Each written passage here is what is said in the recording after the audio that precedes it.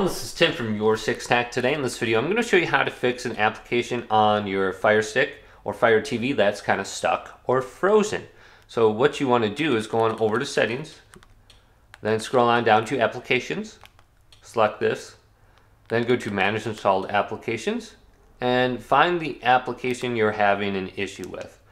And uh, for example, let's go over to uh, maybe AirScreen is just not working or something like that. Uh, let's select it. Then go to where it says force stop. Select this. Then clear the cache. So let's clear the cache. Do not go to clear data. If you go to clear data, this is going to sign you out, um, sign you out with email address and password, and you'll have to re-sign back in. So just go to clear cache. You can see it, it's cleared on the right side over here. And then go to uh, launch the application and relaunch it. And that should shut it down. And then you can restart it and it should work from here on out. But hopefully this video did indeed help you out. Did leave a big thumbs up and subscribe my channel down below.